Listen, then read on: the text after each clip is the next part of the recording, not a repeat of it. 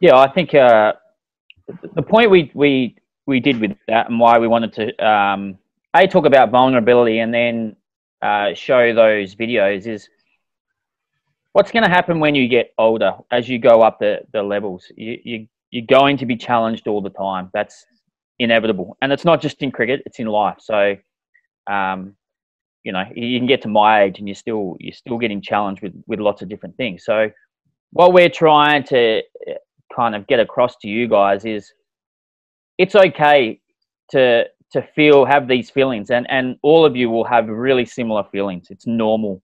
And the best players the ones that actually deal with it. They they take on that challenge. Um, you know I, I can always remember i got to a point in my career where as an opening batsman i almost wanted to turn up and see the wicket green. I wanted it to be hard work because that was the opportunity for me to stand out because if it was flat everyone would get runs but I was I was turning up going, I hope it's green because I want to be the you know the guy because I thought that I could do better in those situations. So it's about trying to um, get yourself into the mindset, uh, and we're going to try and help you with that. About okay, we're going to have challenges ahead, um, but we're going to be ready for it because I can guarantee I've been working with you know a lot of you guys. Um, the best players are the ones who are prepared for the challenges. That's all it is they're, they're ready. The ones who who who aren't, they they'll fall away quickly. So, um, and why Tom and I have been talking about uh, doing this this course. Yeah, nice. So, boys, now I think it's important for for you guys to. This is an important exercise for each of you, but for Buck and I and all of you to share it. We want to know, and this wasn't on your pre work. We want to know why you're doing this. What's your purpose? what what is your why for doing this? Anyone want to start? You put on the spot here, but it should be something, I guess, that you you you know or you can answer. Maybe you've thought about it, maybe you haven't. But what is your why? I think um, for me, um, to be honest, I think in recent years I've only thought about the physical and technical part of the game. Like I've tried to work really hard on that, but like the mental, like I've always been told you've got to work on your mental, but like I never had like a strategy or a plan in place. Like, how do I do that, or what things I can do to improve that? Like, I think working with Buck last year, that probably kick-started a bit of a thought pattern with me, like about routines, mental routines, things like that. So I think for me, I feel like my ment me mentally developing's gonna help me perform out out in the middle and give me consist like a consistent platform which I can trust and a process instead of being up and down. So just being more as consistent as I can, really. Yeah. Nice. Nice, mate. Anyone else? Yeah. Yeah, I think I think for me, like, there's a lot of obviously there's a lot of good good players in this um in this call, and just seeing how people go about their business and what people do differently to me, and like sort of I can pr- over the next um, next few weeks pick people's brains and see what they do, and hopefully implement that into to like the way I, I go about it. Awesome. Who else? Um, probably it was kind of when it came up, just about trying to make the most of every opportunity you get given. I got a lot of resources in this chat and a lot of different opinions. So um, when I kind of got offered or thought about it or found it, I was it was a no-brainer just because I think the you don't have to listen to everyone and whatever they say, but having different resources that you can filter out is probably yeah the biggest thing to why I'm here is just getting other people's opinions um, and seeing what I can do with them in and bring them into my own words and like do them my way. Nice. Jack?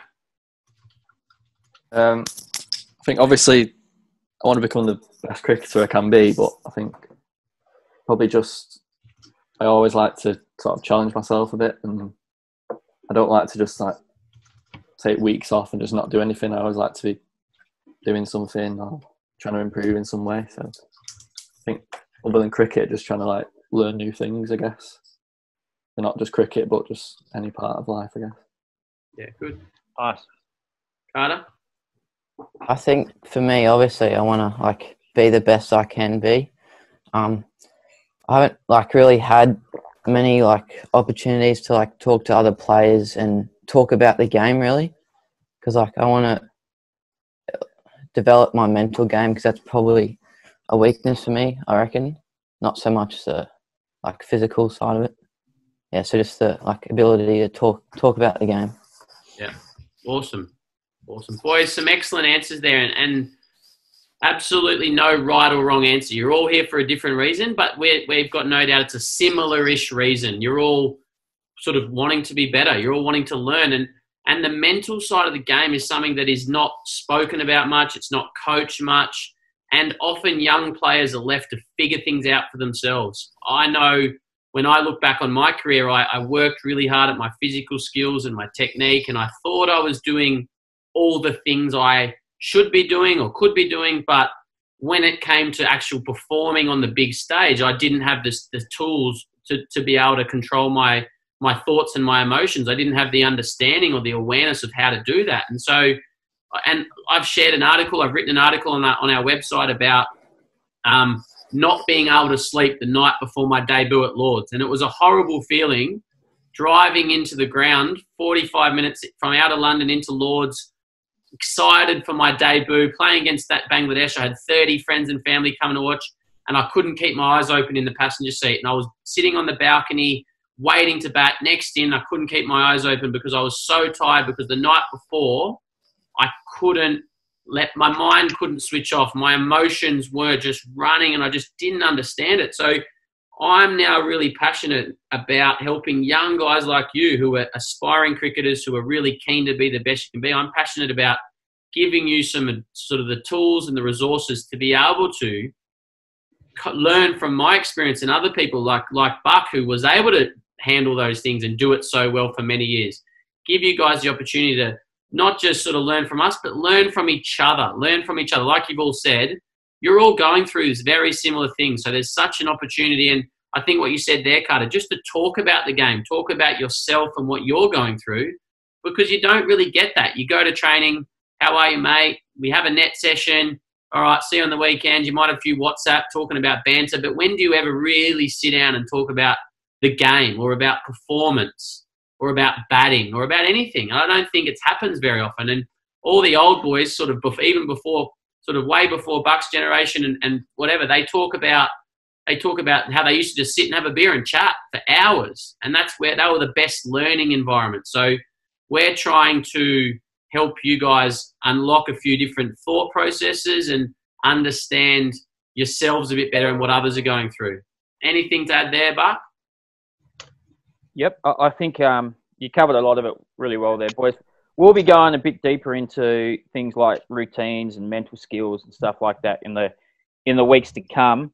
This week is a lot about um, just the behaviours, the, the how you set yourself up to to do those kind of things. Okay, so um, yeah, if, if, the, the the real um, skills like you talked about, I think um, Yash, you know, developing your mental skills, um, things like that. We'll, we'll, get stuck into them. Um, so just be ready for them as well. I think.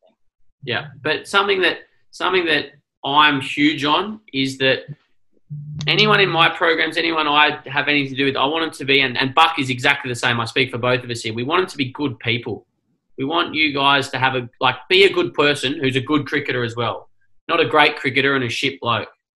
Because you're you're a person who plays cricket we, we label ourselves as a cricketer, but you're a person who plays cricket, and cricket is only one part of your life, and it's only a part of your life for a small amount of time because once you're 35 or be, or even earlier, you stop playing, and you're still a you're still a, a normal person who has to live their life. So we really want to instill good behaviors and good traits and habits, and encourage you guys to adopt them. That isn't just related to hitting a good cover drive or but you can just stand at the top of your mark, feeling confident, feeling in control of yourself.